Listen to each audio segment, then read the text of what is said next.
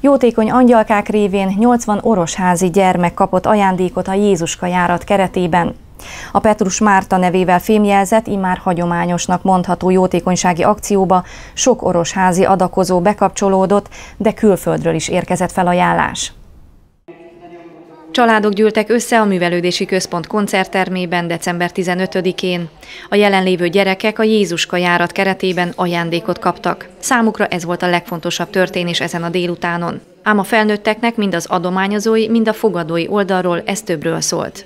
A gyerekjóléti központon keresztül tájékozottunk erről a lehetőségről, hogy ez a kis ünnepség létrejön a gyerekek részére, hogy ők kapjanak minél több, minél szebb ajándékot. Mi volt a listán, és mire számítanak? Igyekeztünk társasjátékokat, illetve olyan hasznos dolgokat kérni, amik a gyerekeknek a fejlődését segíti.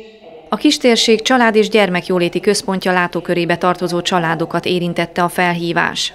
2012-ben indult ez a kezdeményezés Petrus Márta jóvoltából, akkor csatlakozott hozzá az intézményünk. Az idei évben 80 gyermeknek fogunk tudni ajándékot átnyújtani, a legkisebb gyermek 2 éves, a legnagyobb pedig 17. Három ajándékot, ajándék ötletet vártunk a szülőktől, illetve a gyermekektől. Van, aki mind a három ajándékot látni fogja itt ma délután. A három kívánságot országszerte mintegy ezer gyerek írhatta meg, és az önként jelentkező angyalkák igyekeztek teljesíteni. Sőt, nem csak rövid távú segítség érkezik a gyerekekhez. Nagyon sok angyal megkérte a családsegítőket most már így a, a többi városban is, hogy hadd gondoskodjanak a gyerekekről a későbbiekben is. Tehát akit kiválasztottak gyerkőcöt, szeretnék végigkísérni egész évben. A jótékonysági akció elindítója és működtetője Petrus Márta belföldön és külföldön is szerzett támogatókat.